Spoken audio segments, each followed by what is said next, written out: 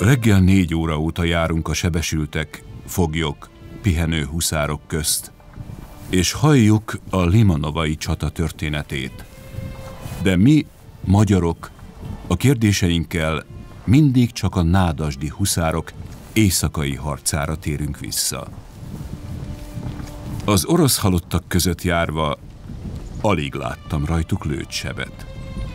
Ahogy a messzelátón nézek a völgyön túl, a hegynek a lábánál, egy magányos sírnál egy huszár térdel. Lehajtott fővel imádkozik. A kép fölött valóságos Isten csodája, itt éjszakon, egy héttel karácsony előtt, melegen, szikrázóan süt a déli nap.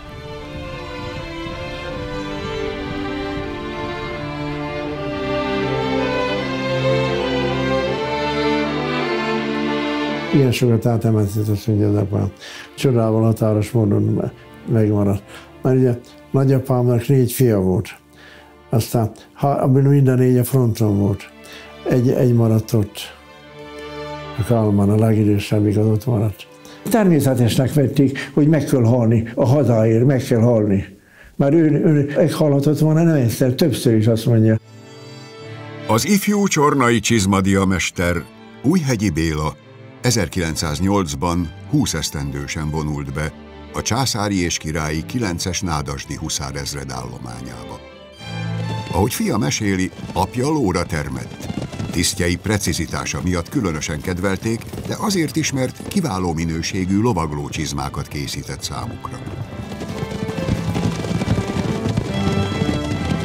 Az 1688-ban alapított Számos győztes csatát megjárt, híres alakulat igazi iskolának számított. Az újoncok itt elsajátíthatták a korban elitlovas csapatnemnek számító huszárság csínyát bényát. De Újhegyi Béla megismerhette azt a különleges milliót is, ami a városban övezte a nádasdiakat. Huszárnak lenni ugyanis életforma volt Sopronban. Erről 1908-ban maga az uralkodó Ferenc József is meggyőződhetett. A korban olyan kiváló tisztek váltak a sorállomány példaképévé, mint a díjnyertes lovas Hangvai László, vagy éppen a Vármegye alispányának fia, Hajas Dezső. Az 1886 óta az ezrednél szolgált Múr Ottmárt, ahogy az ifjú huszárok maguk között hívták, Múr bácsit pedig megkülönböztetett tisztelet övezte. A páratlan csapatszellem magával ragadta az újoncokat is. Újhegyi János szerint egyetlen egy képesség azonban nem volt tanítható. Lóra születni kellett. A sorozatlövő és a gyors tüzelő fegyverek megjelenésével teljesen megváltozott a háborúknak az arca. A fegyvernemeknek új alkalmazást kellett keresni, így a lovasságnak is más feladata lesz, mint egy hagyományos huszároham, amely egy ilyen fegyverekkel szemben már szinte öngyilkosság volt. A lovasság fő feladat ezentúl a felderítés volt, a távol és a közel felderítés, a vállalkozások, a portyázások, fogolyszerzések és egyéb hasonló klasszikusnak is nevezhető lovas feladatok. Nyilván ehhez igazították a kiképzést is. A kiképzésnél a legfontosabb, hogy a huszár az uralja a lovát, tehát a biztos lovagló tudás. Ez mindent fölírt. A másik a fegyverismeret, a fegyverhasználat. Most már a huszárnak ugyanúgy kellett használnia és harcolni a szabjájával is, mint ahogy célba is kellett tudnia lőni a karabélyával. A huszárok számára nyilvánvalóan fontos volt a pontosság, a fegyelem, az önállóság. Különösen igaz az altisztekre, a tisztekre, hiszen egy felderítés, egy vállalkozás alatt sokszor önállóan kellett dönteni, önállóan kellett elhatározásokat hozni. A térképismeret, a tájékozódás alapvető tudásnak kellett, hogy legyen. Rövid idő alatt kialakult az a fajta kohézió, ami nélkül szinte lehetetlen volna megoldani egy válságos helyzetet. Ez a huszár szellem. A legénység bízik tisztjeiben, hiszen a tiszt apja, papja, tanítója a huszár. Meghallgat minket. Jó ötleteinket elfogadja, a végrehajtás együttető. Bajtársak közt társam a lovam is. Mindenben együtt kell működnünk. Békeidőben készülünk a háborúra.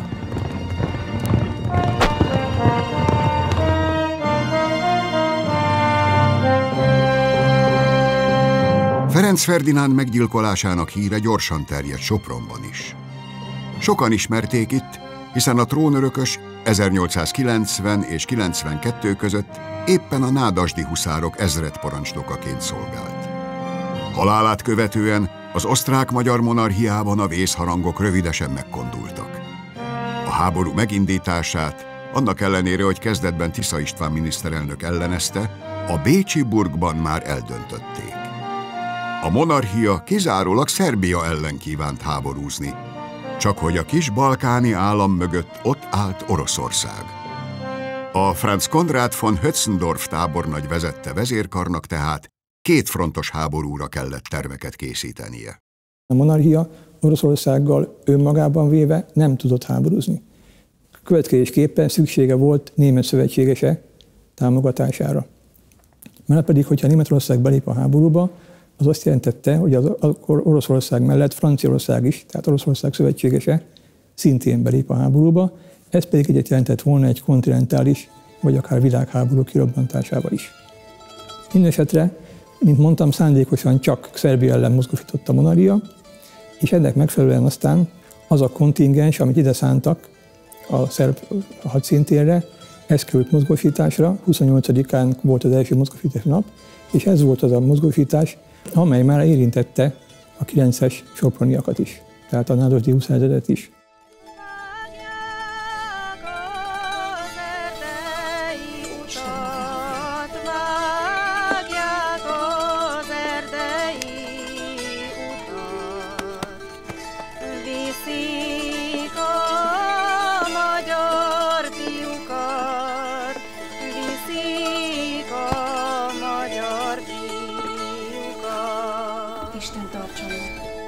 Hangulata jó volt. Fiatalok voltak, aztán meg ilyen hazaszeretetre nevelték ma iskolába a gyerekeket. Ma akkor is. Aztán ugye mire katonák bevonultak, aztán a fokozódott. Az a lelkesedés, az a szeretetre. Meg aztán főleg ma, mikor a ütközet volt, aztán akkor, még akkor jobban belelóvalták magukat mindenbe. Ugye győzni akartak minden áron. A B lépcső itteni csapatainak a nagy része lényegében véve tüntetett, demonstrált. El kellett hitetniük a szerbekkel, hogy amíg itt vannak, a digitális hatalmas támadás kezdődik majd. Amikor 1914. július 31-én a monarchia az oroszok ugye, mozgósítására válaszul kénytelen volt maga is elrendelni az általános mozgósítást, tehát valósággá vált az, amit korábban féltek, hogy két fronton kell majd háborúzniuk, akkor döntés született arról, hogy ez a bizonyos B lépcső, amiről beszéltünk, ez augusztus 18-ától kezdve folyamatosan elszállításra kerül Galíciába. Ennek megfelelően kerültek aztán elszállításra a 9-es huszárok is. A frontra érkezett huszárok már a háború első napjaiban nevet szereztek maguknak. Stojanovnál a kassai ötös és a marosvásárhelyi 9-es honvéd huszárok nyílt terepen, tűztámogatás nélkül 1800 lépés távolságról kezdték meg a lovas rohamot. A huszárok megugrasztották még a rohamhoz fejlődő orosz lovasságot is. 48 órán belül azonban Gorodoknál fordult a kocka. A magyar lovasság, amikor Gorodok elé ért, zárt alakzatban csatarendbe fejlődött, és felderítés nélkül, semmivel sem törődve, ebben a célszerűtlen alakzatban gyalogságunkra rohant. Tüzérségünk élénk tüze, majd gyalogsági sortűz fogadta, az őrülten bátor, de eszeveszett rohamot. Így emlékezett vissza az ütközetre maga Brusilov orosz tábornok, akinek katonái az emlékiratok szerint sírtak, miközben a magyarokra tüzeltek. A halálroham során közel 500 huszár és 650 katonaló veszett oda. Sokan már az egész fegyvernemnek a, a, a végét jósulták. Úgy gondolták, hogy leáldozott a lovasságnak az új fegyverek megjelenésével. Mások ezt tagadták, és az, az igazság, hogy az osztályok a tábornoki karában Többségben voltak azok a tábornokok, akik, ha úgy tetszik, konzervatív módon kezelték a kérdést, tehát hallani is akartak arról, hogy a, hogy a lovasságnak a kiképzését, felszerelését hozzáigazítsák, úgymond, a modern követelményekhez.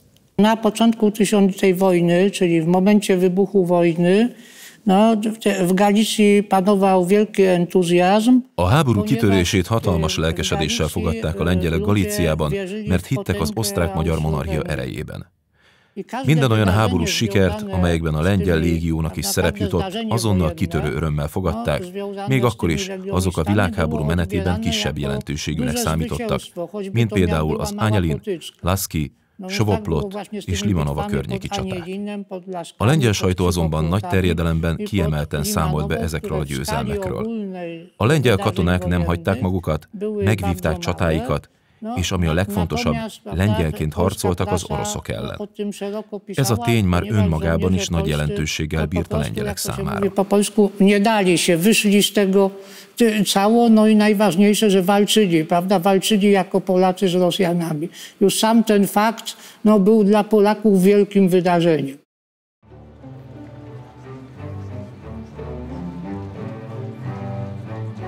A lengyel-magyar kapcsolatokban új fejezet nyílt itt Krakó főterén, illetve a környező csatatereken. 1914 első háborús hónapjaiban a lengyelek számára lehetőség nyílt Lengyelország újra szervezésére. Ezért jött létre a lengyel légió, amely válvetve harcolt az osztrák-magyar csapatokkal. Ez a légió igen népszerű volt Magyarországon, gyűjtés szerveztek részükre, illetve sok magyar fiatal önként is jelentkezett ebbe a kötelékbe. Beszéltem magyar fiúkkal, akik elszöktek hazúról sok van ilyen, aki nem győzte bevárni a gimnázium padján a katonasort. Úgy összeszorul a szívem, ha látom őket. Ti azt hiszitek, fiúk, hogy a ti véretek is kell ahhoz, hogy újra szülessen? Hanvaiból új életre keljen a rég elporlat Lengyelország? Miért mondjam meg nektek, hogy ezt a háborút remény nélkül is végig kell verekedni? Polacy lubili Węgrów już przed wojną, Természetesen a lengyelek már a háború előtt is kedvelték a magyarokat. A huszároknak gyönyörű egyenruhája volt, nem véletlen, hogy a lengyel nők oda voltak értük. A huszárokról alkotott kép egyértelműen pozitív volt, a galíciaiak úgy gondolták, hogy a huszárság az egyetlen erő, mely megmentheti szülőföldjüket az orosz kozákoktól.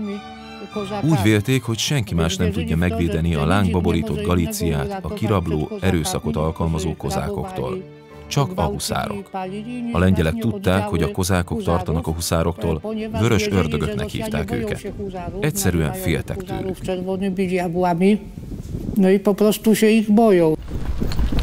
Amikor a 9-esek kiértek Galíciába, az osztrák-magyar hadvezetés az összes lovas alakulatot úgynevezett távolfölderítésre vetette be.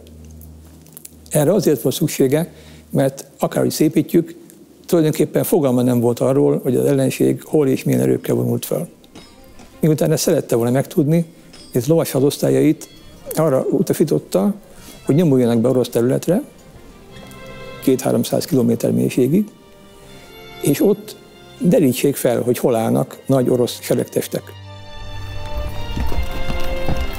1914. augusztus 25-én hajnalban indította el Hajas Dezső járőrparancsnokunk a megadott irányba az akciót. A parancs, hogy megállapítsuk alakulataik összetételét, fegyverzetét, harci felkészültségét és az állásaik pontos helyét.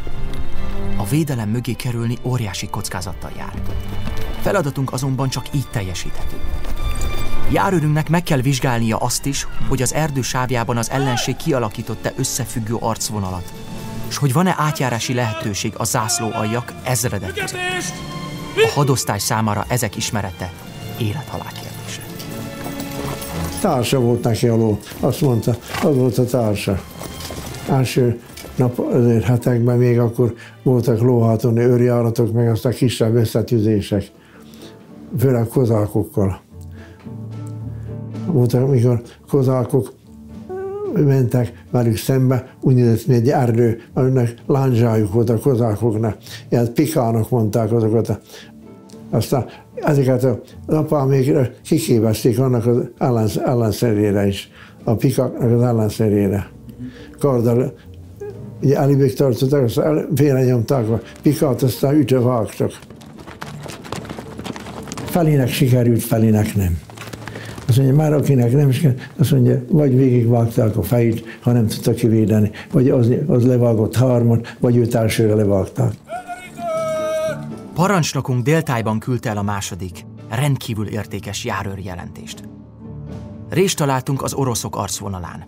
Erejük feltérképezése során az erdő határában tüzérállást fedeztünk fel, de nem maradt sok időnk az adatok feljegyzésére.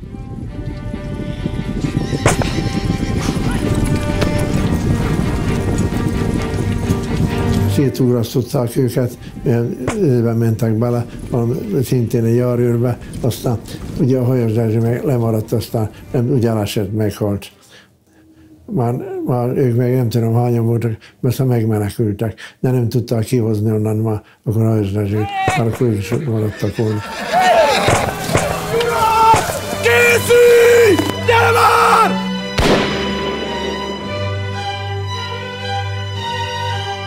Tűnjetek el, megyétek, maradjatok meg. Igen, rendes ember volt az a hajosdázső. Feláldozta magát, azért, hogy ezek el tudják hozni, amit följegyzett. Amíg állítólag nagyon jó izé volt, ilyen híranyag, ilyen felderített híranyag. Belekerültünk a sűrűjébe. Itt mennydörög a háború. Talán holnap mi is a halálállomáson végezzük? Tarmoszinnál az éjszaka közepén kezdtek minket ágyúzni. Tunkapitánynak köszönhetjük, hogy rendet tett soraink között. A 15-ös gyaloghadosztályt megtizedelte a váratlan csapás. De vannak jó hírek is. Az eltűntnek hit erős hadnagy árruhában szökött vissza hozzánk. Vagányságunkat Turi Ferenc és Horváth Dezső bizonyítja. Zolkiev városkába lovagolva eleséget loptak a muszkától.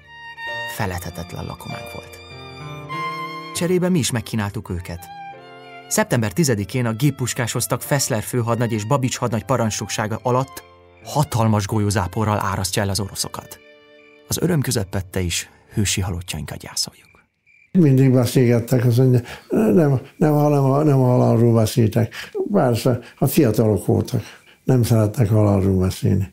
Ez a milyen régi népdalokat tudott énekelni, azokat igen szerette meg igen jól énekült.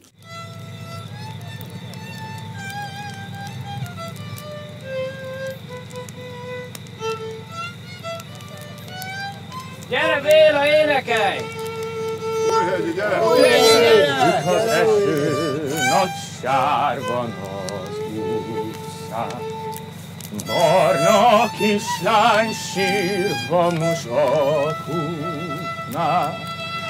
Nem súlyog a cifra, súlyog a kezébe, az aki fronton harcol a szeretére.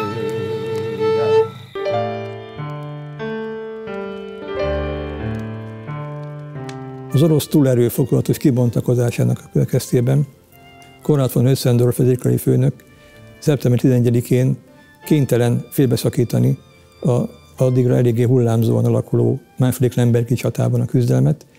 Arról van szó, hogy a monarchia a szan mögött próbálta meg stabilizálni védelmét, és aztán úgy október elején a németekkel szövetségben megpróbálta visszafordulásra kényszeríteni a már akkor kibontakozó orosz gőzhengert, ahogy az újságírók nevezték. Ennek a visszafordítási kísérletnek azonban a végeredménye megint csak vereség lett, így aztán a monarchia tovább folytatta a hátrálását, most már a Dunajec folyó mögé. A különböző szintű parancsnokok a háború első hónapjaiban még sok manőverre számoltak. Ebben különösen fontos szerep jutott a huszároknak. A huszárok gyorsan mozgó alakulatait nem zavarta se a folyó, se a völgy, gyorsan át tudtak elni bárhol, bármilyen terepakadályt le tudtak küzdeni. Ilyen módon tudtak az ellenség védelme mögé kerülni, vagy azt oldalba támadni. 1914. október 10-én Hanvai főadnagy is arra kapott parancsot, hogy a támadó bécsi Landver alakulatokat feltartóztató orosz védelmet próbálja meg megkerülni. Ezt 80 huszár, illetve egy gépuskás szakaszsal sikerült is neki végrehajtania, bár elég sok nehézséggel kellett szembenéznie. Ez az az idő, amikor mindenki megnézi, ki lovagol mellette. Mert ilyenkor válik el, hogy kiben mi lakik. Ez az a perc, amikor a legkeményebb legény is lehetőleg keres magának egy olyan megbízható kardúpajtást, akivel szívesen vereszik egy frontban. Ez az a perc, mikor a huszárok szép csendesen meglazítják a kardot a hüvelyben, a forgópisztolyt a tokban, megtapogatják búcsúzóra a fényképekkel tele tárcájukat, vagy egy kis keresztet, s úgy, suttogva kicserélik a végső óhajtásaikat, utolsó megbízásaikat. Az apámnak aztán ilyen honvai voltak, parancs századparancsnoka, majdnem egész háború alatt is. Aztán ő neki volt lovásza volt. Már a honvai békeidőben versenyzett. Azt az apám nagyon sok felderítésben volt benne, mert a honvai vitte magával, mert jó lovas volt. Kellett valamit hétrehajtani, valamilyen rajtütés, aztán oda a honvait küldték mindenhova. Csak gyereknek mondták, ők ottan maguk között. Gyereknek mondták. Az elnevezés olyannyira méltó volt Hanvai Lászlóhoz, mint a vörös ördög a magyar huszárhoz. 1914. október 10-én a 80 fős soproni különítmény egy géppuskás szakasszal sikerrel kijutott a beásott orosz gyalogság védelmének oldalába. Hanvai kapitányék az ellenséges tüzérség tüzét kikerülve egy meglepetésszerű támadással ki is űzték állásaikból az oroszokat, így lehetővé vált a Landwehr alakulatok további támadása. Egy osztrák szemtanú Rédl százados valódi huszárcsínynek nevezte a nádasdiak tettét, akiket Galíciában már a mi huszárainknak neveztek. De az újonnan alakult lengyel légió sem maradt adós. Lovasságuk a Kárpátok bércei közt éppen ezekben a napokban esett át a tűzkerességen. A Máramarosba betört orosz gőzhenger ellen közel 2000 fővel vonultak fel. Az ellenség túlereje azonban mit sem ért. Egy korabeli szerző szerint Krácsfalva és a környező terep az oroszok számára tökéletes zsákutca volt, igazi halálkatlan, amelyből nem volt menekvés. A lengyel győzelmek után levelet váltott két polgármester, Krakó híres polgármestere, a nagy Krakó megálmodója, Julius Frantiszek Leo, illetve Bárci István, Budapest nem kevésbé híres, nevezetes polgármestere. Leo szerint a lengyel győzelemnek az áloga a régi tradicionális helytállás, az, ami a lengyel zászlókat évszázadokon keresztül győzelemre vitte, és az orosz csapatokat ismét legyőzte. Valamennyien őszinte hálával és meleg, lelkes szeretettel láttuk a csodálatra méltó lengyel légió közleműködését hazánknak az ellenségtől való megtisztításában. Erősen hisszük, hogy a keménykarú és bátor szívű magyar fiúk derekasan segíteni fognak az önök hazájának felszabadításában. Współpraca pomiędzy legionistami i żołnierzami monarchii, czy między sztabami, o tak to powiedzmy, monarchii i dowódcami, no, układała się bardzo różnie. A lengyel légió és az osztrák-magyar monarchia csapatai közötti együttműködés változatosan alakult, nem mindig volt felhőtlen. Az osztrák-magyar monarchia csapatainak vezetői ugyanis nem teljes értékű katonaként tekintettek a légiósokra, inkább önkéntesek voltak a hadvezetés szemében, akikre fontosabb feladatokat nem lehet bízni. Valójában egyszer működött igazán jól mindenki teljes megelégedettségére ez az együttműködés a Limanovai csata idején, illetve egy kicsit korábban, Hüzsovkinél, amikor Pilsudski tábornok Nagy Gyula tábornok parancsnoksága alá tartozott. Nagy Gyula tábornok a lengyelek valamennyi kívánságát teljesítette. Rosszabb puskáikat jobbra cserélték, modern lövegeket kaptak, továbbá 90 huszárt a lengyel légióhoz csoportosított. Nagy tábornok valódi katonaként tekintett Pilsudskiékra, és valódi feladatokat bízott rájuk.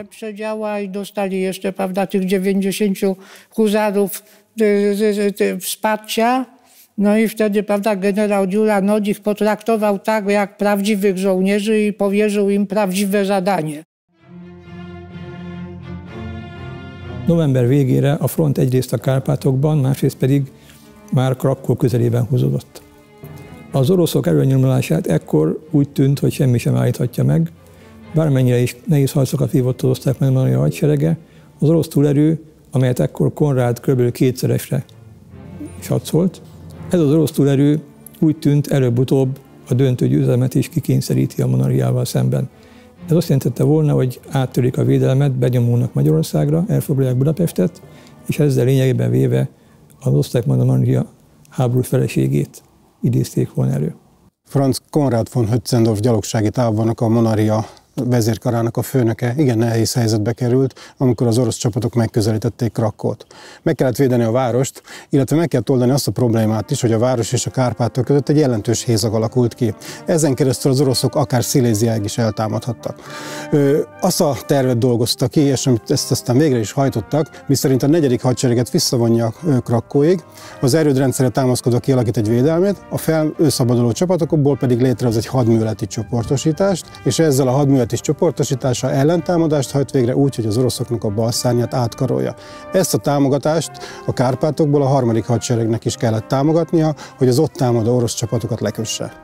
A nádordi huszárok feladata voltak éppen e, azzal függött össze, hogy ugye mozgékony alakulatként igyekezniük kellett jóval nagyobb területet ellenőrizni, mint amennyit egy gyalogsági alakulat képes lett volna ellenőrizni.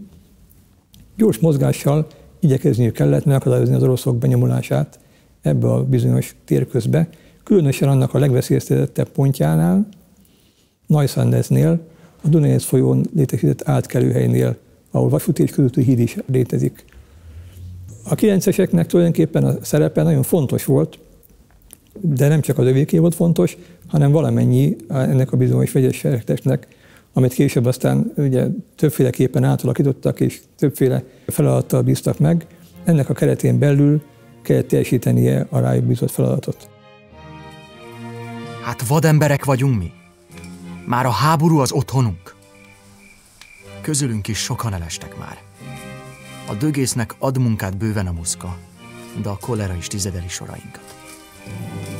A körülmények aggasztóak, ráadásul már nyakunkon a tél. Örvendünk, ha hetente tudunk tisztálkodni, meg egy jót aludni. Mi járhat most a fejedben, drága böske? Én meg vagyok. Ne aggódj. Sok a megfáradt, beteg köztünk. Mi magunk meg lovaink is megsínlik a hadak útját. Meg kell találnunk a belső békét, különben felőről minket a azon múlott az egész vállalkozás sikere, hogy előbb érkeznek-e be az erősítések Krakó irányából, mint hogy az oroszoknak sikerül áttörniük a Dunajecen, elfoglalni Lemonovát, és benyomulni a Rót seregcsoport mögé. Azon múlott a siker, hogy meddig képesek tartani a Limanovától délkeletre húzódó domsoron kialakult állást az osztrák népfölkelők, tehát landver alakulatok, magyar honvédek, valamint az ide érkező ugye, huszárok.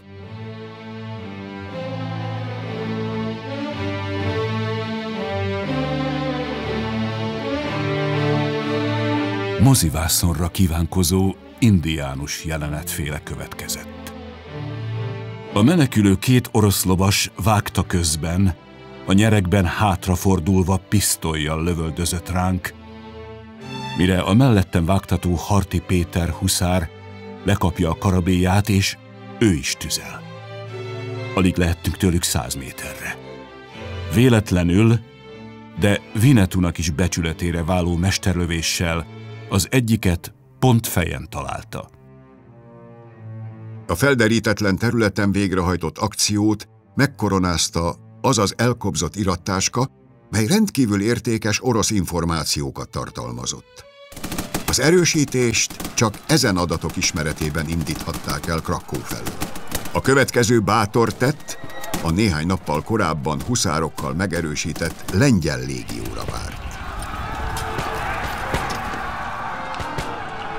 Hatodikán az ellenséget nem tartóztatom fel, eljutott volna egészen Limanova alá. Ez mindenek előtt derék fiaim érdeme, akik az egy a hat ellen küzdve egész nap mindössze 12 kilométert szorultak vissza. A bátorságnak mindig megvannak az eredményei, különösen a háborúban. Arra kényszerít, hogy hamisan mérje fel erejét az ellenfél, és ez nagy plusz a bátor számára. Ők voltak az az alakulat, amely egy meglepő ugye, hadművelet keretében a Dunajci átkelőnél, Najszandesnél a közeledő oroszokról nagyon komoly információkat hoztak. Tehát ők beszámoltak arról, hogy itt bizony már elég komoly orosz erők gyülekeznek, és egy váratlan tűzcsapással sikerült is őket valamilyen módon visszakényszeríteni. Persze egy jelentős jelenállást nem tudtak kifejteni, úgyhogy végül ők is visszavonultak Limanova felé majd. Mindenesetre ez egy nagyon hősies akció volt a részükről.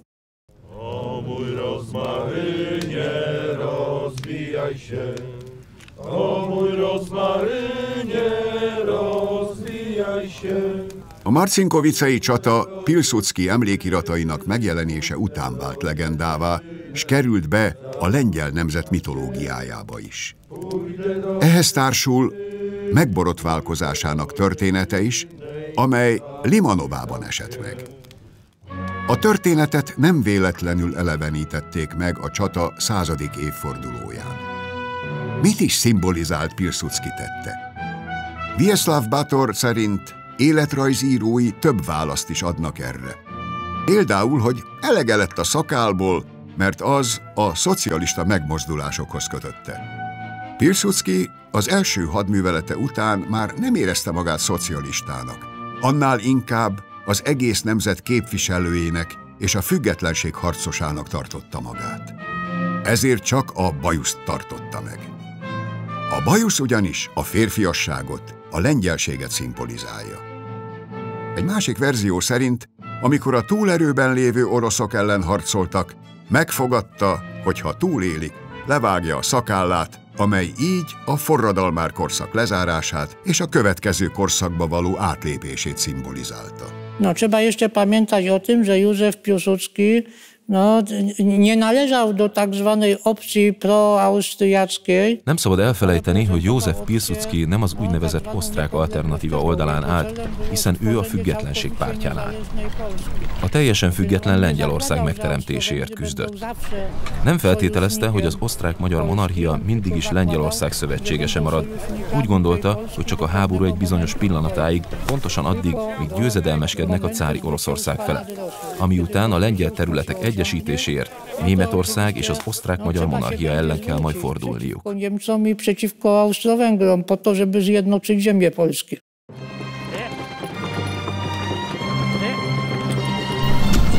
Limanova az én családomnak az gyerek, gyerekkorom óta nagyon nagy dolog, mert ugye nagy, nagyapámat ott, vesz, ott vesztettem el Édesapám révén hallottam először ugye Limanováról, mert más, máshol nem iskolába, ilyen helyeken nem, nem említették a limanovai ütközetet, és édesapám mesélte el, hogy a magyar huszárok milyen hőstettet hajtottak végre.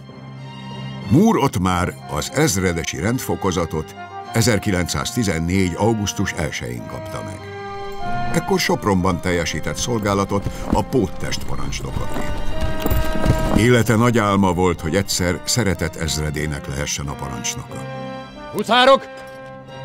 Köszöntelek benneteket abból az alkalomból, hogy a legfőbb hadúr kinevezett a 9-es számú huszárezred parancsnokává! További vitézi helytállást, éljen a király! Vigyázz, úr! Ezredes úr! Istenük volt nekik. Istenítették azt az embert. A Múr bácsinak mondták. Igen, szerették azt az ezredest, az ezred parancsnokokat. Szóba állt mindegyik katonájával. Nem éreztette azt a különbséget, ami volt köztük, a rangbeli különbséget. Bármelyik huszár azt mondja, meghalt volna érte, helyette. Annyira szerették. Múrot már válságos helyzetben vette át a parancsnokságot Limanovában. A város védelmét ellátó megerősített tizedik lovas hadosztály védőállásai délkeletről és keletről félkörívben fogták körbe a várost. Ugyanis a közeledő orosz 8. hadtest 15. hadosztályának előrenyomulása a Limanova kaninai műút mentén volt várható. A terepviszonyok adottságai alapján a műút menti Jablonyec és a várostól délre fekvő Golcúv magaslat különösen fontossá vált. A Golcúv uralgó pontjának birtoklása a védők és a támadók szempontjából is létfontosságúnak látszott. Tudta az vezetés azt, hogy ha elesik az a rész, akkor baj van, akkor áttörnek, a, a nagy erők át tudnak törni azon a résen. Ez volt a lényege neki. Fent a vonalban a legrosszabb, hogy a lövedékek fütyülését fejünk fölött tétlenül kell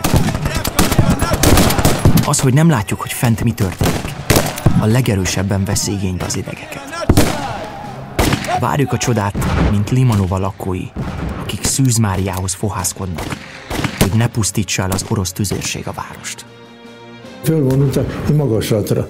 Ott kell, azt mondja, valami három-négy óra hosszat volt, ottan nappal volt, aztán akkor vi, az elcsöndesen visszamentek. Akkor jött a másik, váltották őket. Ez így, így ment, azt mondja, valami három napig. Az apám annyit mondott a pokolba. Annyit mondta az apám, a pokolba voltam. A Goldszuv magaslaton a császári és királyi 13. huszárezred különítménye, a nádasdi huszárezred géppuskás szakasza, egy század lengyel légionista és a Landsturm zászlóa egy századának katonái helyezkedtek el. A magaslattól jobbra volt állásban a császári és királyi 9. huszárezred 300 Múr ott már, már reggel 9 óra 38 perckor jelentette az ellenséges támadást. Ott harcolt a magaslaton az egyik legjobb magyar vívó, az 1908-as londoni olimpia negyedik helyezettje, Szántai Jenő tízes huszárkapitány is. A közel ötszörös túlerővel szemben a maroknyinak tűnő véderő kevésnek bizonyult. A magaslatot az oroszok elfoglalták, így a nádasdi huszárok állása a továbbiakban nem volt védhető. Múr ezredes Heves Shrapnel és géppuskatűz közepette úgy döntött, hogy új állást foglal, és hátrább helyezi a védővonalat. Olyan egység volt ebbe az ezredbe, hogy bátran szembeszálltak, akármilyen túlerő volt, és nem kimélték magukat. Még hogyha tudták, hogy azoknak a fegyverzete sokkal modernebb, mint az övék, de a hősiesség az felülmúlt mindent rendkívül megerőltető a veszteségeken kívül, tehát azon kívül, hogy, hogy a, ugye folyamatosan csökken az ellenálló képesség, hiszen mindig vannak veszteségek. Ráadásul az ottani körülmények, a pokoli stressz, amit el kell viselni a katonáknak, a szembeálló tüzérségnek a tüze, amely rettenetesen megviseli a katonákat, az állandó életveszély tudata. Azon kívül az időjárási viszontosságok, amit hozzá kell szintén tenni, közeledünk a télhez már, meglehetősen zord viszonyok uralkodnak,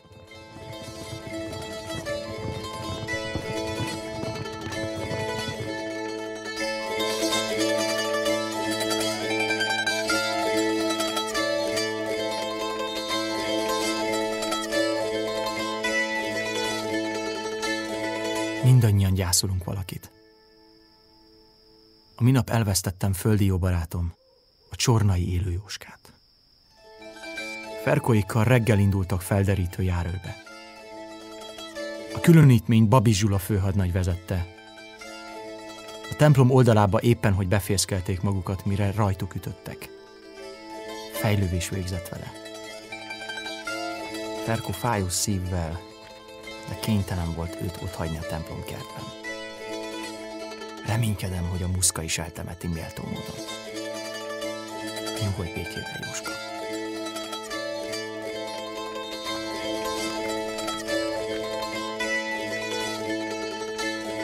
Obie strony nie miały już właściwie siły od zdobycia tego wzgórza. A folyamatos harcok során a cári Oroszország, de a monarchia erői is teljesen kimerültek. A Limanovát környező magaslatoknak az elfoglalásán múlt, hogy szétszakad-e a front, és győzedelmeskednek-e az oroszok. Ha nem sikerül nekik, el kell kezdeniük a visszavonulást ami végül be is következett. A harcok végkimenetelét illetően éppen ezért hárult döntő szerep Múr Ottmárra. Limanową, o wyniku całej bitwy pod Limanową. Tizedikén jött, jött a hír, hogy az oroszok a a, azt hiszem a bal szárnyon fönn a, a Jabloneci dombon, hogy betörtek az oroszok, és hogy a Nádasdi ezred nagyapám vezényletével menjenek és váltsák fel megerősíteni a csapatokat. Perej, uram, a velem perlőkkel, harcolj az ellenem harcolókkal. Perej, uram, a velem, Perej, uram, harcolj a velem perlőkkel. Ragadj pajzsot vért, harcolj és az ellenem harcolókkal. Ragadj, pajzsot vértet, és, siess segítségemre. Védj elő láncsát, csatabárdot üldözőim ellen. Szólj így hozzám, én megsegítlek téged. Érje szégyen és gyalázat azokat, akik életemre törnek. Hátráljanak meg, és piruljanak, akik rosszat terveznek ellenem. Legyenek olyanok, mint a szél hordta polyva. Az Úr angyala szórja szét őket. Legyen útjuk sötét és sikos. Az Úr angyala üldözze őket.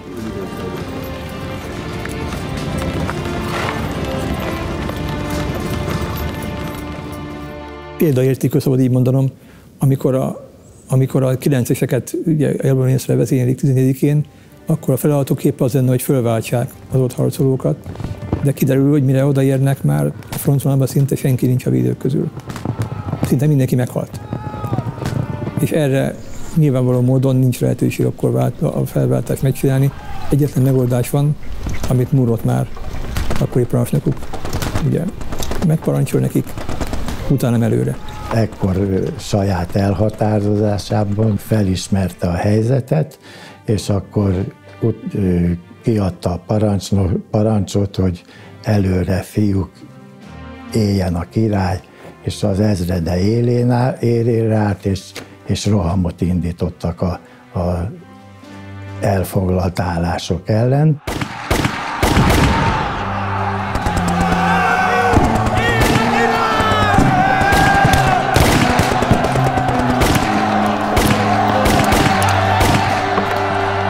Apám ott volt nem messze tőlem, huszárok utána, huszárok előre, gyertek fiúk, vagy nem kiabáltottam minden. Mentek előre karabélyel, kilőtték az öt töltsényt, aztán megfordították, aztán úgy aprítottak.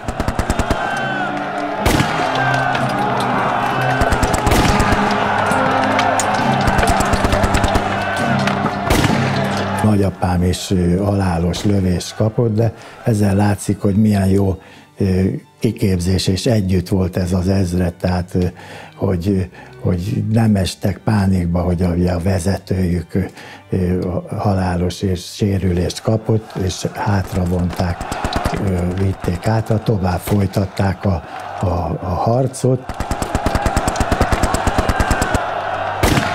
Mikor megtudták a katonák, hogy, hogy meghalt Áláses, hát talán akkor meg, meghatványodott nekik az erejüknek, bátrabbak voltak az emberek, meg úgy harcoltak, mint, a, mint az állatok jóformán, mint az őrültek, úgy mentek előre. És ezt meglátták az oroszok, nem tudom, hány száz foglyot ejtettek, mert menekültek egyszer az oroszok.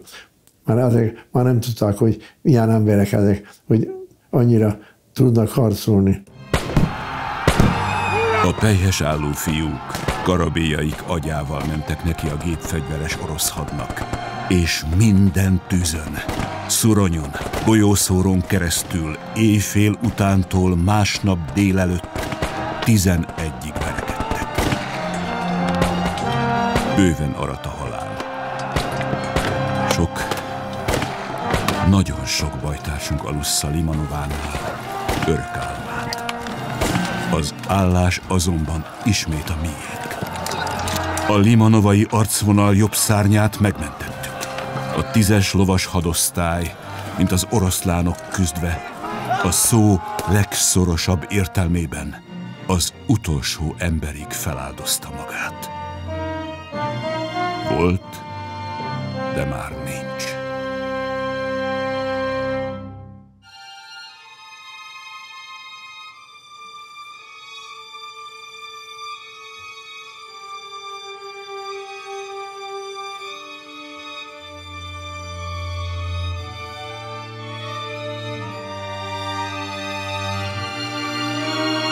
Ott a halotgajtásának megrázta a kezét, szárbusz fajtás, majd megyek utánad.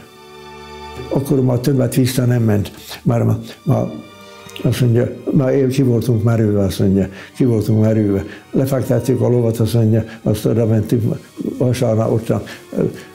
Nem volt hó, december 14 nem volt hó. Fiam, ne tudd meg azt mondja, mi volt az. Ne tudd meg. Elmegyek ebben az élettől. Aztán olyant is mondott, hogy volt a halottak, hogy olyan, aminek két felé vágták a fejét.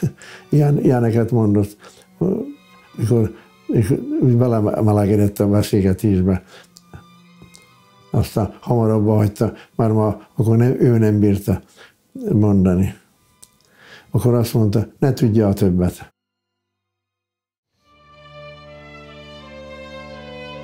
Ez a győzelmes csatatér most valami szívszorongató keveréke. Forró könnyekre indító tájképe a békés nyugalomnak, jókedvű éneknek, imádságnak, égre néző orosz halottaknak, véres szeméttel nyikorgó szekereknek, arcra borult, szegény, magyar huszároknak, akik nem is tudták talán, hogy itt, a Limanovai dombon, nyugtalan magyar városok nyugalmát verekedték ki, mikor északnak szorították az oroszt. Most ez a döntő cselekvés, hogyha nem így cselekednek, akkor menthetetlen, és ez a, ez a rész, rész elesik. E, ezért mondjuk utána megkapta a Lipót rendet is, és a Limanovai előnevet nemesi ranggal. Tehát elismerték a, azt a cselekedetét, hogy a döntő helyzetbe tudta, hogy mit kell cselekedni. No, ocalić to Limanową i wszystkie te okolice od całkowitego zniszczenia. A huszárok egyszerűen megmentették Limonovát és környékét a teljes pusztulástól. Limanovában, illetve itt a régióban mind a mai napig nagyon tisztelik és ápolják Múr már emlékét. Hőstette közismert. Különféle rendezvényeket, versenyeket és iskolai vetélkedőket szerveznek a tiszteletére. Egész Galícia szemszögéből nézve Múr már önfeláldozó akciója megmentette Galícia önállóságát. Ugyanis ha Galícia az oroszok kezére kerül, biztos, hogy megszűnt volna az autonómiája. Se lengyel egyetemek, de még csak lengyel kultúra sem létezne. Az osztrák-magyar monarchia szempontjából nézve, Muro ott már a katasztrófától mentette meg a birodalmat. Natomiast w skali całej monarchii czyn Otmara Mura ocalił całą monarchię austro-węgierską w tym momencie od katastrofy, czyli od katastrofy wojennej.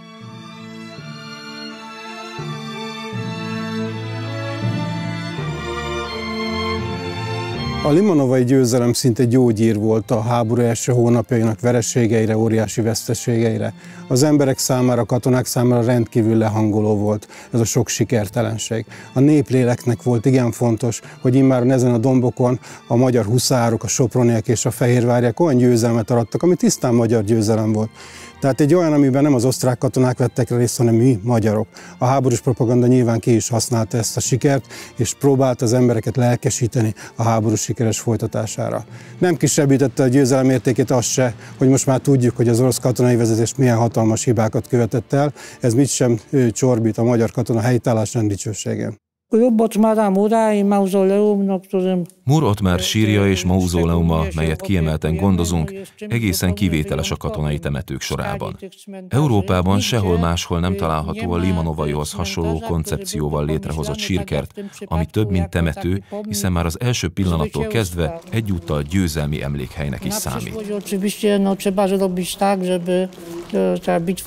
A jövőt illetően fontos, hogy a döntő Limonovai csata megkapja az őt megillető helyét a tankönyvekben is. A lengyel történészeknek, akiknek számít a történelmi igazság, meg kell írniuk egy olyan kötetet, amelyben elmagyarázzák, hogy miről is szólt valójában a galíciai Limanovai csata.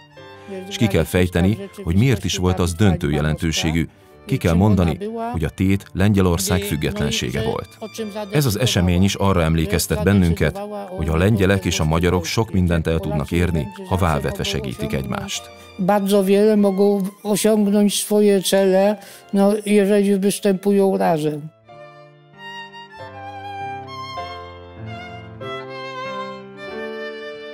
a lengyel-magyar barátság ugye mindig megvolt.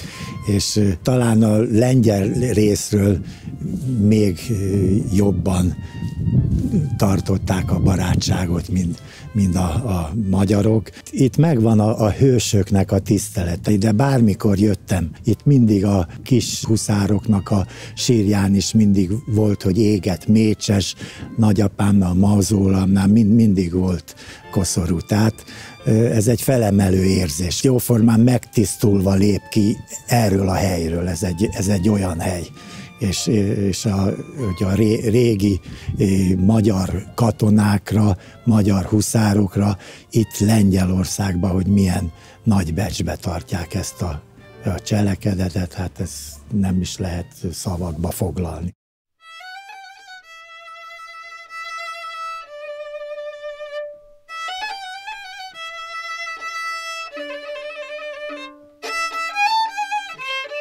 Egy az a katonai győzelem az mindig megmarad, az akár mikor volt, még a, a 500 évvel ezelőtt is, akármelyik, ez minden magyarosságnak, magyaroknak a hazaszeretetét, meg aztán az dicsőíti tulajdonképpen az, hogy egy-egy nagy győzelem, ez is az volt. Aztán az apám részesen lehetett neki. Danutul negyedikben akkor az a az volt a téma, egy kicsit kiúsztam magamat, mikor mondta, az apám volt. Meg volt, mikor az apám egyszer beszélt, beszélt a úrat már, meg is könnyezte. Meg nem könnyezett az én apám sohasem. Nem. Meg is könnyezte. Úgy szerették azt az embert.